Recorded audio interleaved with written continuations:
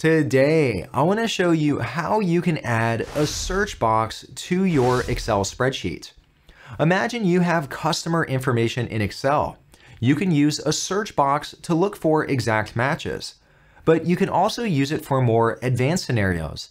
You can look for partial matches, you could even search across multiple columns, and we could even highlight the results. This is a fully fledged search box. If you want to follow along today, I've included a sample spreadsheet right up above and down below in the description.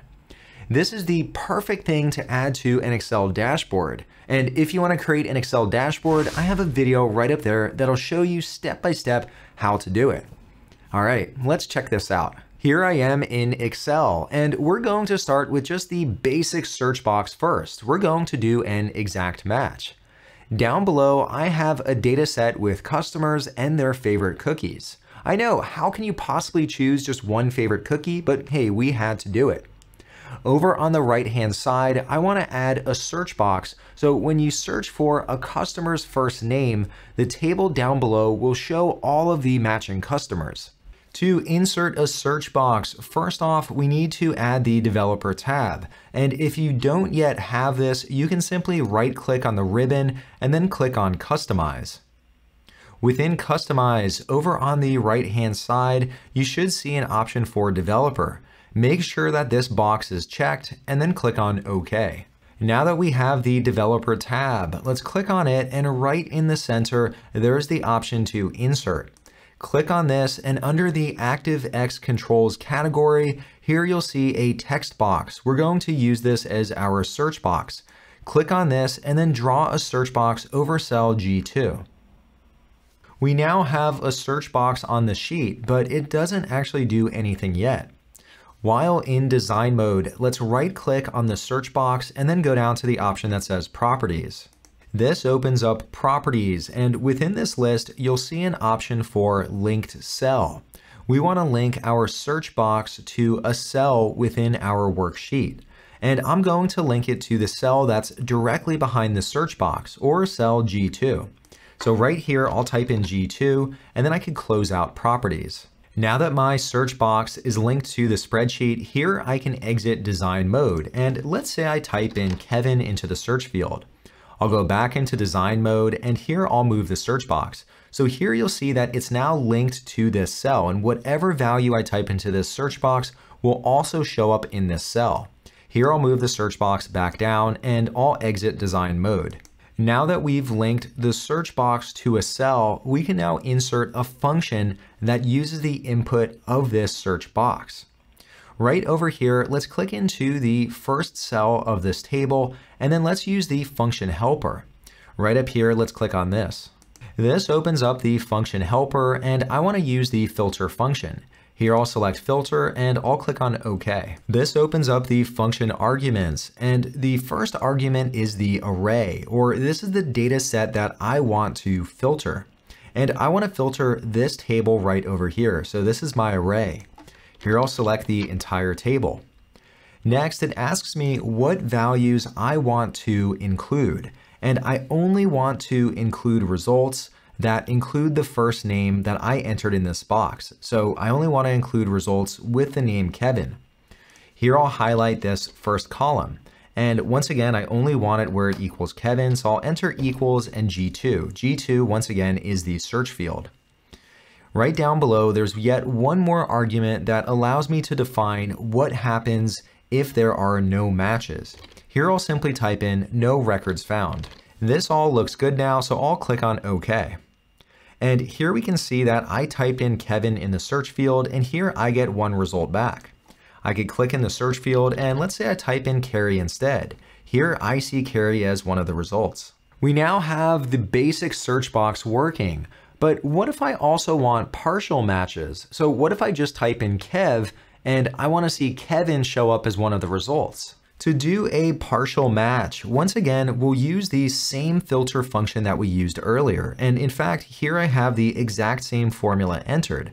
But we also need to use two additional functions to help us out. We're going to use the search function and the isNumber function. Search will tell us, is there a partial match? And then isNumber will tell us, true or false, is there a match there? and we can then use that output in the filter function. Let's start with search. Over here, I'll click in this cell and in the formula bar here, I'll enter equal search. I'll select this function and first it asks me what text are we looking for? Well, I want to look for the text entered into the search box. So I'll enter G2. Remember, that's the cell behind the search box. Then it asks me, where do I want to look for this value? And I want to look for it in this first name column. So here I'll select all of these different values and then I'll close the parentheses. And that's my function. Over in column I, I can now see all of the different rows where there's a match for Kev. So here I can see that Kevin includes Kev. Here if I change the search box, and let's say I just type in KE, here I can see that Kerry starts with KE, so that's also a match, and it matches in position 1. If I scroll down, here I see a 4 for the name Parker, and there's a KE in Parker, and the KE is in position number 4, which is why I get that 4 back. Next, we can now use the isNumber function to tell us true or false, is there a number over here? Here I'll type in equals, and I'll type in isNumber. I'll open the parentheses, and I simply want to look across this set of values. So here I'll highlight all of these values and then close my parentheses. And here you'll see that the number one right here, yes, that's true, that is a number. And if I scroll down here, number four, that's also true, that's a number. We can now use the output of this as part of our filter function.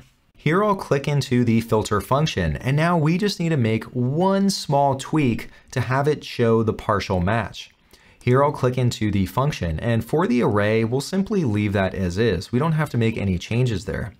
Here it asks me what values I want to include. And over here, we already did that work. Here we say true or false, is there a partial match? Here I could remove this portion of the function that we entered previously.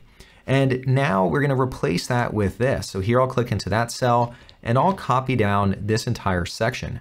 Here you'll see that it enters it as J5 with a hash sign.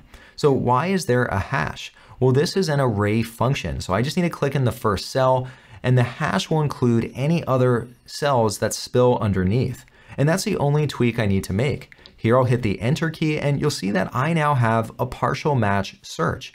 So here I could type in Kev and here it cuts it down to Kevin. And if I go back to KE, here it shows all of the partial matches. Pretty cool. Of course, if we want to clean up our sheet and we don't want these two helper columns on the side, we can take these functions and incorporate them into our filter function.